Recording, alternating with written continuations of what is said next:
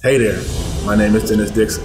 Special Olympics Oregon is kicking off the Polar Plunge 2024 season. Join today at plungeoregon.org and make an impact on the lives of Special Olympic Oregon athletes. Take the plunge with me.